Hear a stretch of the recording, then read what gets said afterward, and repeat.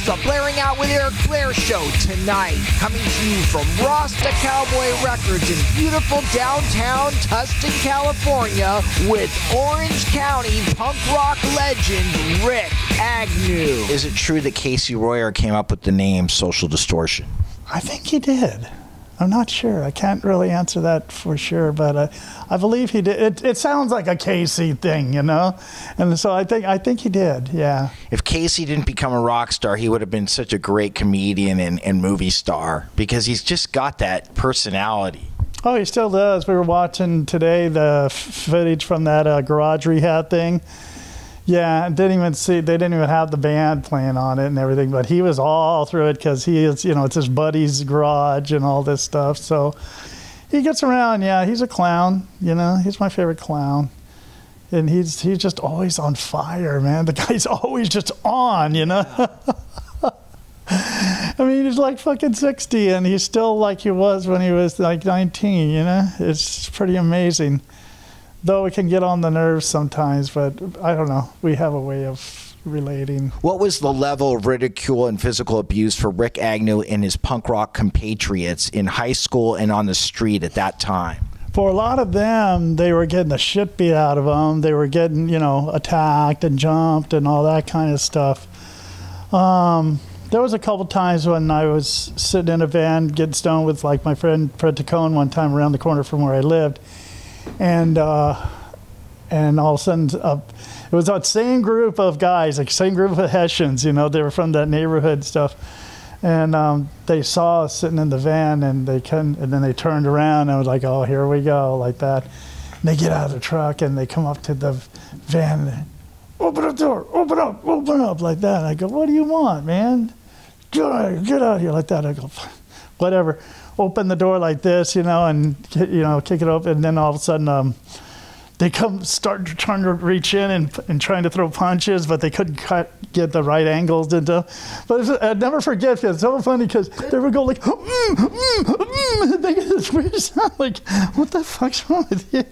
And they're hitting, but it, you know, it, it didn't hurt or nothing. They couldn't get a good punch and everything. So I, I just started kicking them, you know, in, the body really hard and everything and stuff, and t- got the door shut and took off.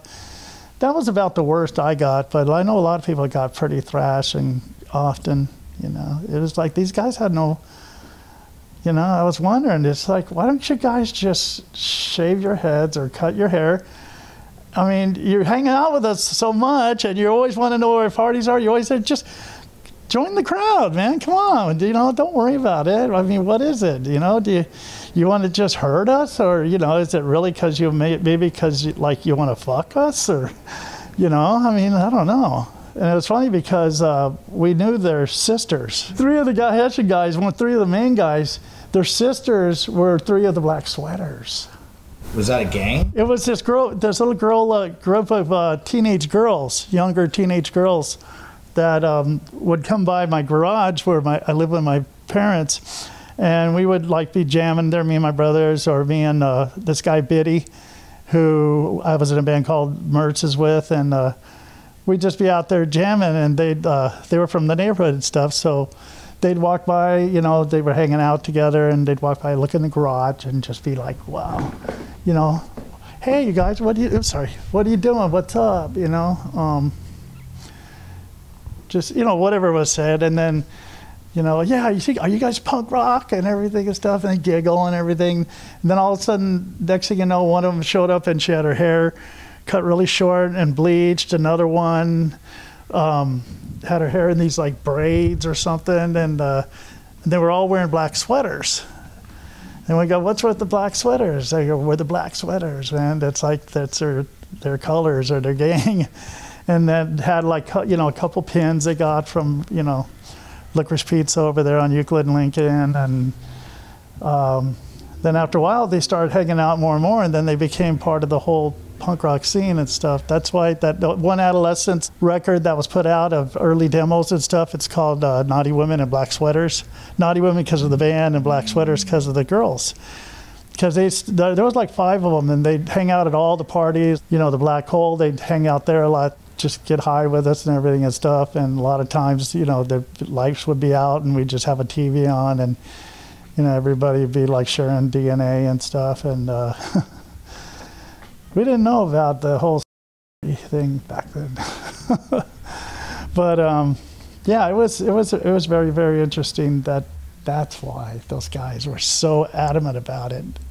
They wouldn't let it go. And there was quite a few of them. Those uh, the guys that would follow them and stuff. Like a couple of years later, I'd be at the Cuckoo's Nest playing a show, and hey Rikk, what's up, man? Hey, hey, what do you think of the hair, man? The mohawk and everything. I'm looking, I'm going, wait, you were one of those fuckers, you know, but I wouldn't say anything. I wouldn't, you know, I could have them jumped, you know, at that point or whatever, beat up into everything, but I just like, welcome to the gang, welcome to the club. I mean, the more the merrier. Hell, if he, if he, you know, that person's sitting there and they're, they turned over to punk, hey, great.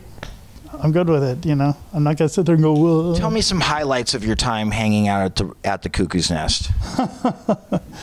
Which time? All the times. It was like a, almost like second home. I mean, once again, it was just complete anarchy. Go in the pack, the parking lot stuff, you know, and just be drinking beers and everything. And then the Black Beauty man would come by and stuff on his bicycle, and he would just make a killing selling like Black Beauties, you know, which was a caffeinated mm-hmm. pills and stuff. We'd always like crush them open and like that, you know, and then down beer and everything and stuff. And when we when we were playing shows and everything, we would get so high on those black beauties and drink so much that like every other few songs, you'd have to like run in back of the amplifier.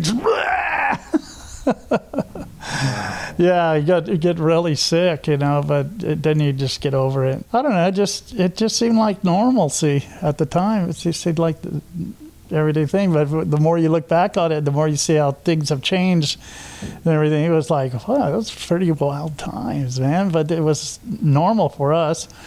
And uh, Jerry Roach was, you know, he still is an incredible man. I mean, for the most part, he loved us and everything. You know, he'd always let us in free and stuff. And a couple times, like where after a show, we'd be sitting there talking and everything, and uh, we were going one time we were going to go to the mountains right after the show and everything. So he kicked us down with like three cases of beer, you know. So it was cool. And uh, there was another time when I was in Christian Death and we were going to play there, and uh, I forgot what happened, but we got in a big old argument. And he grabs me and he throws me against the wall and starts spitting in my face. Like, what are you gonna do about it? Oh, what are you gonna do about it? And what did I do? I, I just start crying because my feelings were hurt, you know. And uh, you know, after that, it was just kind of, you know, for a bit. But then he got that club called. Uh, uh, Radio City. Radio City, thank you. Slayer played there, Metallica. I roadied for some bands too back in the day. I saw the one show, it was Dark Angel, uh, Possessed, and Slayer. Mm-hmm. That was amazing. I never forget because it was so hot in there. Mm-hmm. Yeah. Well, he kept it hot. You know why? He wanted to sell beer. Yeah, that's, that's a, I know exactly. because because the managers of some of the bands that I roadied for would always go, he's doing it. He's keeping it hot in here so people will buy beer, and it was suffocating in there. It was, man. I mean, you felt like you were gonna faint after a while, you know. Going back to the Cuckoo's Nest, I mean, Iggy played there and the Ramones played there. Did you go to either of those shows? No, I went to neither of those shows, but I did go to see uh, David Johansen when he played there. Um, doing his solo thing and stuff, and then I got to meet him and hang out with him for a while. He's really, it's total sweetheart nicest guy. Um, I saw the Cramps there a couple times. Uh, Blasters open for them. Mm-hmm. And just little moments I remember is like when the Cramps were playing, and some guy comes up and he flicks a cigarette at them, and it hits it hits uh, Ivy right in the head, like you know, and it just all these like embers and ashes going down her face and everything and stuff. She didn't even fucking flinch, and I was like, I love that. You know, when that happens, you know, the musician like they're just like duck feathers, you know. And I, I just had the biggest admiration for her after that. I thought it was so cool. And then you look at the person, just go, you asshole, you know. I was the only one that almost got in a fight with Jerry. There was um, when Wall of Voodoo was it was Wall of Voodoo, Adolescents, and an opening band. And uh, their drummer at the time, that Joe Nanini guy, yeah, I never liked him. A lot of people didn't like him. He was a real asshole, you know. And I'm not just saying that because he's dead now, but I would say it to his face. He got a big old fight with uh, Jerry Roach. They were both in the parking lot, just, you know, just, you know how like when the fight breaks out like that, and and it seems like they're going everything, throwing blows and stuff. And after that, I knew it was right about Joe. so you can't take him anywhere, man. Roach knock him out? No, they just they got they got split up and everything. So what happened was they just uh, they they took off.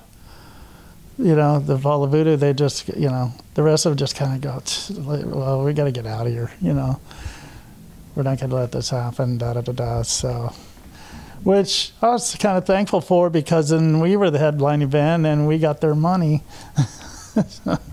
Thanks, Joe. Did you ever have any encounters with the Go-Go's?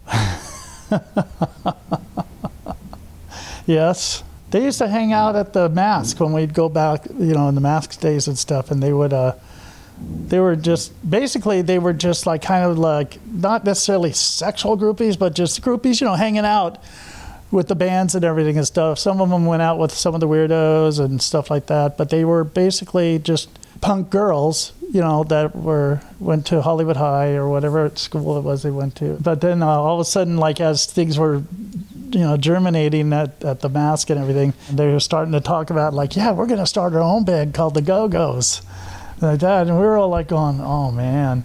And it, they were kind of like the joke, you know what I mean? Like you, what we would do is like we'd go out and hang out the Masque for days at a time. We'd stay with this band called the Controllers, they were one of the first bands we met down there and, and everything. And they went on, a couple of them went on to do to be the Gears, and uh, but the Controllers. They had a studio there they lived in. There, there was like studios, and you'd live there too. The thing to do was like to get really drunk and then go over and listen to the Go-Go's practice in the big room and just and, and laugh at them. but not really like ah you suck and anything like that. Just you know, just just kind of touch you, you know and they oh, they could like they could really hardly play at all, you know. But it was cute, you know. I mean, they were trying. You had to give them that, and they were and they were nice too. Especially Belinda, she was a sweetheart. She was a total sweetheart. And Margot, I loved Margot. When they kicked her out, I got bummed. Then I didn't like them anymore because Margot was really really sweetheart. Jane was cool, but she's you know she was a Hollywood girl, you know. Some of them they were just like Hollywood girls what does that mean? They were just like Hollywood girls. They already had the attitude built in, you know, because, you know, you know what I mean. I don't know how to explain it, but it's just kind of like where. Well, first of all, the, most people there just did not accept Orange County people for quite a while.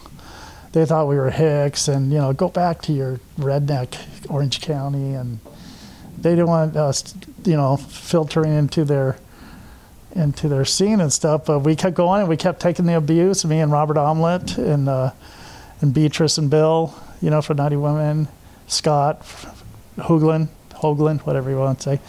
Um, we'd go down there all the time, and we, you know, they would pull that attitude towards us, you know, snub us and everything, like whatever, you know. And um, I mean, we controllers loved us. We loved the controllers. Um, Darby, we used to go to his apartment all the time that he had like right there, kind of by the Whisky, and um, we, we knew him from like uh, uh, B. Shorts and Bill met him at like Bowie shows and Queen shows and stuff like that. So he was always co- cool, you know. He never pulled that. He was just always Darby, you know. well, I was going to ask you, what was his personality like? Like you see, like when they interview him or whatever and stuff, he was just kind of like, you know, just Darby. He was kind of like like to get drunk a lot, like to get high and everything and stuff, and was just kind of out there. You know, a lot of these people that were early punks and stuff, they they were unique. They were individuals that had their own agendas going. You know, and Darby uh, was also part of this school thing that happened in Fairfax, and it was like a alternative school kind of thing, and. Uh, Paul Roessler, who I play in a band with now, who was at the Screamers, he was part of it. His sister Kira was part of it. If Paul was here, he could tell you each and every one of them. But you, have seen pictures before of that mm-hmm. of that group of people. Yeah, I think that was just as uh, important and responsible for the whole punk rock, you know, and musical scene in Hollywood as being in Hollywood, because you will notice that, like, especially when you tour every city has its own like kind of basis of how the general punks are. like of course in Hollywood, there you're going to be glamoury, glitzy type of bands, and you know, going for that big prize. You go to Arizona, Texas, and stuff like that, Meat Puppets and bands like that, where they they turn to lean back towards being like country tinge. You know, you become like whatever your culture is. You know, and incorporate it. Uh, it seems something like that. There are lots of photos of Darby at parties with Joan Jett, the Runaways. I mean, were you at those parties? Yeah, oh yeah, yeah. That we'd see the Screamers there and stuff a lot, you know, and and Joan, you know, with her girlfriend of the time or whatever, you know, uh, that was funny too because it was usually like a super hot looking, real normal looking beach girl, blonde beach girl. That was her girlfriend, and it'd be funny because you know, in fact, it was kind of cruel. We'd bring like, you know new people from Orange County to these parties and stuff. And some of them are like these dudes that were just like, you know, they were such like dogs, you know, like that. And they'd, you know, they'd, they'd see like Joan's girlfriend, like, oh, she's hot, man. Dude, what's she doing here? And I go, I don't know. Why don't you go up and talk her up, find out?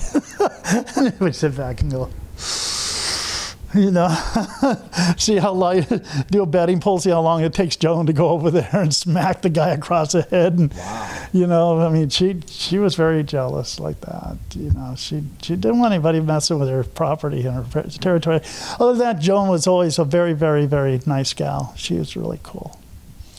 She's, um, and Darby is cool. I mean, they're, they were all really cool. The, the parties were fun, you know, and it just like any other parties, basically. Kim Fowley? Just when the mechanics played with the Runaways at the Whisky, um, he came up and looked in the room and started talking and start uh, start totally like uh, talking up uh, uh, Tim Rocca's girlfriend at the time, who he was very very possessive of and stuff. But but Kim Fowley was a hero. Kim Fowley was this Hollywood, you know, to people from Orange County and all that kind of stuff. I mean, I, I know people in LA who basically never liked the guy. Always said he was a scumbag and he's just a piece of shit, you know, and always will be. But we were like, wow, that's Kim you know. So, and he was he was making up these lyrics at like on the spot about uh, Tim's girlfriend, and then sitting next to her and being like and seeing these pretty. I mean, we're just like, going, dude, you know after that, I didn't like. He he always reminded me of a monster. Anyway, he was kind of a very iconic looking dude. You know. Is it true that Steve Soto approached you first to join the Adolescents, and then you suggested that your 15 year old brother Frank play guitar for the Adolescents instead? At the time, I was in the Detours, so I have no recall of how that formed. All I know is that. Uh, when Steve got kicked out of Agent Orange, him and Frank were hanging out a lot, so I guess they decided to start the, the, the band. And uh, when Agent Orange played at the Hong Kong Cafe, this like little super skinny blonde kid with big blue eyes about sorry about like this, you know. And he was the first person I ever saw actually dive off a stage, even though the stage was like yay high, you know, about a foot and a half uh, he was going out there and jumping into the people, and it was like nobody done that ever. I mean, it was like except Iggy. So we're like, oh, that, and look at him. He look at him. He just has a look because he was barefoot. He's, I guess Rick Rick was kind of a hero of his, uh, and he had just old torn up jeans and a t-shirt. Looked like he hadn't bathed in about a month or changed his clothes. And we were just checking him out. Go, God, we got to meet this guy. You know, me and Steve would just be getting drunk in the car and go. And then we're talking about starting, you know, a band and stuff. Uh, but uh, I guess he started it with Frank. I don't know. Everything was so just like, you know, time wise. So I couldn't really say. But I remember sitting in the car and going, dude, I just pictured, you know, that, that kid, you know, just singing with the band and having like no shirt, just jeans like Iggy Pop or something, and just bleeding from his head and and just holding on to the microphone and just looking like, you know, like that. That was always a picture in our heads and stuff. So, but it was basically Frank, Steve, and Tony that started it. Then they got John O'Donovan, who was a you know local Fullerton kid, and Peter Pan. I forgot I forgot his real name now. Greg, I think it was Greg and he was just a kid that played some drums that Frank knew from Fullerton High School. So, and that's how that band that was the first incantation of that band. Did you feel super confident as a guitar player when you joined the Adolescents? I never felt confident confident about playing or being in a band. I still don't think I, I don't think I'm that good of a guitar player at all. Never have thought I was. I never never will. I don't know. Um, confidence wise, it was called beer, alcohol. I just get so rip roaring drunk, I wouldn't give a fuck. You know, I would just go up there and play. But it always seemed to be kind of a second nature thing. You know, I've been known to go up and be like, not even remember a show.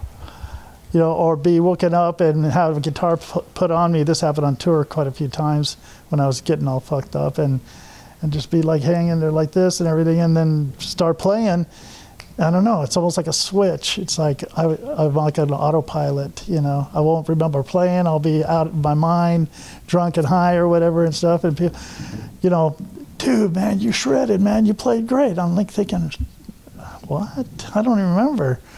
And then you know later on when you'd see videos of yourself and everything and hear record live recordings, it was like, you know, I was like, hey, did I do that? you know, but um so there was never really a confidence. There's never really been a confidence. Probably the last few years, to be honest with you, the last few years, ever since I got sober and cleaned up and everything, I just got to a point like before I couldn't even perform without being drunk. Forget it. You know, it's like I can't go on. I need beers. You know, and um, once I got straight, or you know, clean, sober, uh, it was it was I don't know. I just finally said, you know, what? I've been doing this so long. Screw it. I don't give. You know what? What I did was I didn't give a fuck about funk about fucking up. I didn't give I didn't give a damn what happened up there. You know, by doing so, it was like got rid. The confidence came in, if that makes sense. It's kind of a I don't know. I'm I'm kind of a complex person. I, I, find it very very hard to explain my rhymes or rationalizations or reasons for anything. Do you remember the first time you played sober? no, I can't. No, I had too many shows, too many things. Did you think you had arrived as a star when Posh Boys Robbie Fields presented the Adolescents with gold singles as a result of the song Amoeba off the 1980 Rodney on the Rock compilation becoming a hit. At the Starwood in LA, you were presented with gold singles. Well, first of all, and I knew this from the get go, is they were just um, they were just like cheap trophies. I mean, they weren't actual gold records. There's no RIAA certification on it or anything it was just like you know it was just kind of his way of saying thank you and and and celebrating the fact that we had a an actual like song. It was the first punk rock song actually on KROQ to have maximum rotation. It, it, it, it went from the rodney on the rock show to like being regular rotation you know and so he was really happy about that. A lot of people were happy about that. So at this one show that we did the starwood one it was like uh, it was our first headlining show, I think, too. Um, he wanted to come out and uh, present us with those and everything. And I thought that he told me about it beforehand. I go, well, that's cute. That's great. You know, wow. You know, wow. And um, I think my parents were there. They went to a lot of the shows like that. And so Tony, being the ever present, like I don't care whose toes I step on, I'm going to be Mr. Punk Rock, you know, which eventually is what broke up the band or what got me to just say, fuck you, I'm out of here. Because, you know, I mean, here we were on our way up, and, you know, mind you, yeah, I was a punker and everything, but I, I mean, but I wanted to be a Beatle first.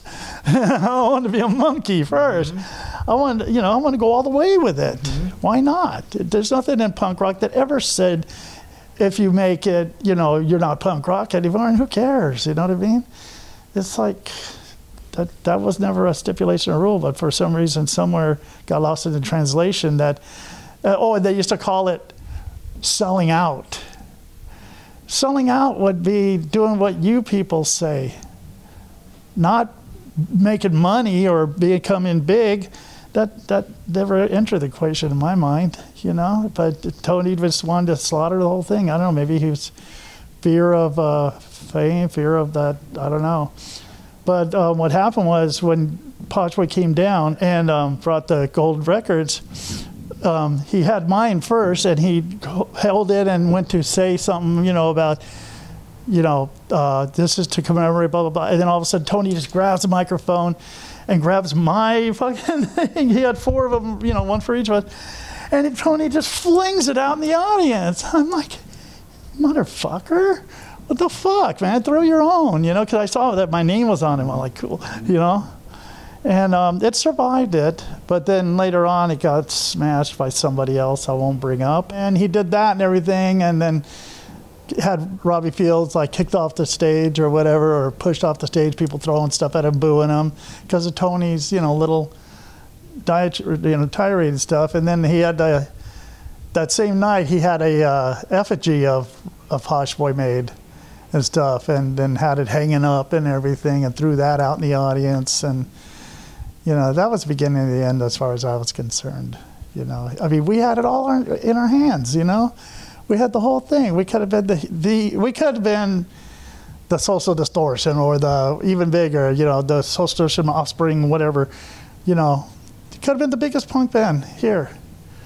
As far as like in making some dough, dude. Which always helps, you know. How much longer after that event took place did you did you call it quits? Did you exit the Adolescents? They actually kicked me out. And my last show ever with them was at the Starwood on my birthday. It was a couple weeks after that. We were, we were having a meeting. Mike Patton took over being our uh, manager. Eddie Subtitle was at first, but then Mike Patton took it over, and he was at the house we are supposed to meet about doing a, a, U.S. tour. I was super excited about that, you know, and everything. And that's what the meeting was supposed to be for. I was there, you know, punctual as I, I like to be punctual, and uh, waiting, waiting, waiting for the guys to show up. They finally show up, and then um, all of a sudden it's like, okay, what? Something's wrong here because they all come in and everything and stuff, and they wouldn't say hi. They were, you know, all four of the other guys they just kind of sat down, and Mike comes in and he goes, okay. I go, okay, so we'll, let's let's talk about this tour and everything. Uh, goes, oh, okay, hold on. First of all, um, we're not going to be doing a tour most likely, and this meeting is, uh, well, go ahead, you guys, and then you know, Tony just immediately goes, you know, Rikk, I mean, you're always this and that, this and that, and I'd rather have you as a friend than a band member and everything and stuff. So we talked about it. We decided that it's a good idea for you not to be in the band anymore. And then um, I said, what? And then Steve started going on. You know, once Steve has like a little somebody started, then he he got really upset. You could tell he was upset about it. He didn't like doing it, but that he had no real choice. Kind of like how it was all the way until the day he died. You know it's kind of always, you know, under Tony's thumb. What Tony wanted, Tony got, you know. And uh, it's been like that since day one. It's still like that. He, uh, so he was like, yeah, Rikk, because, you know, when you do this and that, blah, blah, blah, blah, na, na, na, na, na, na, na. And I'm like, oh, okay. And, you know, here I thought we were going to be going on a tour, and I'm getting kicked out of the van. And I look over at Frank. Frank's got his book. Uh, he's just got his face in a in a comic book, reading it like that. I go, Frank, do, what do you got to say anything about this? And one couldn't even look at me, couldn't even face me.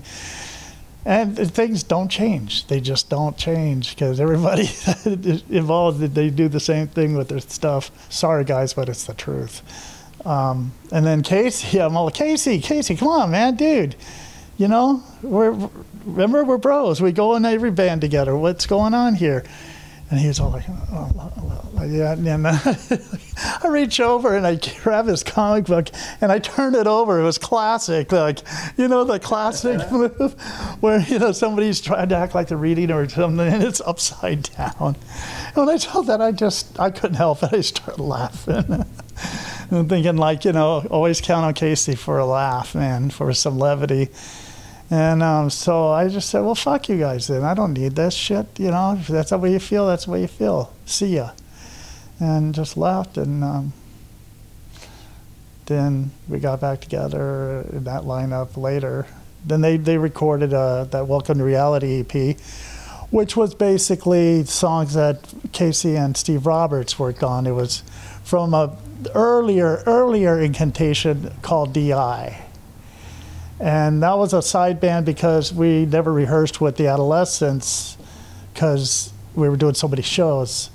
And we all loved Flipper, so we decided we're going to start a Flipper band.